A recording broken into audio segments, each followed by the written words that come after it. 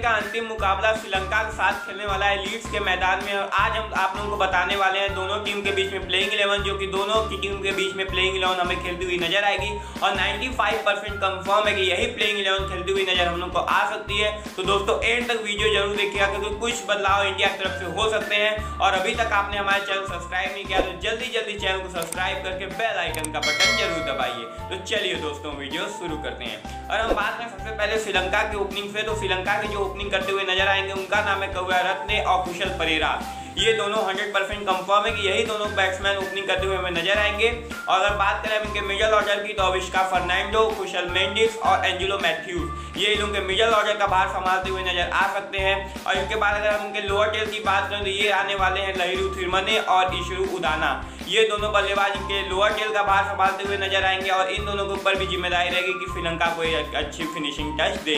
उसके बाद अगर बात करेंगे चार प्रॉपर गेंदबाजों की तो धनंजय डी सिल्वा, जेफरे वंडर जैसे कौशल रजिता और लसित मलिंगा, ये रहने वाले हैं इनकी तरफ़ से चार प्रॉपर गेंदबाज तो जो आप हमारे लेफ़्ट साइड में देख रहे होंगे तो इस प्रकार से रहने वाली है श्रीलंका की प्लेइंग इलेवन और इसी टाइप में हमें पक्का ये हंड्रेड परसेंट कन्फर्म है कि यही श्रीलंका की प्लेइंग इलेवन उतरती हुई नज़र आ सकती है।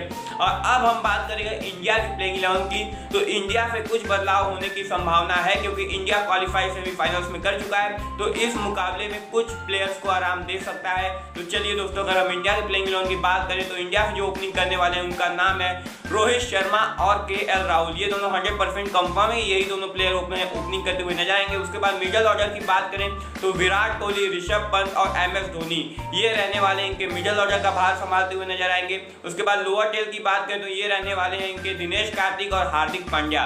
ये दोनों रहने वाले हैं इनके फिनिशिंग टच देने के लिए। उसके बाद चार प्रॉपर गेंदबाजों की बात करें तो मोहम्मद शमी, युजवेंद्र चहल और भुवनेश्वर कुमार। ये रहने वाले इनके तीन गेंदबाज और इसके बाद हमें ऐसा लगता है कि जसप्रीत बुमराह को आराम करा के कुलदीप यादव को खिला सकते हैं क्योंकि ये अंतिम मुकाबला है और इसके बाद सेमीफाइनल्स और फाइनल्स के मुकाबले हैं। तो इस माहौल में हो सकता है कि जसप्रीत बुमराह को आराम दिया जाए इस मैच में और उनके जगह पे हमें कुलदीप यादव खेलते हुए नज़र आ सकते हैं। तो कुछ इस प्रकार से हमें देखने को मिल सकती है प्लेइंग इलेवन इंडिया की तरफ़ से।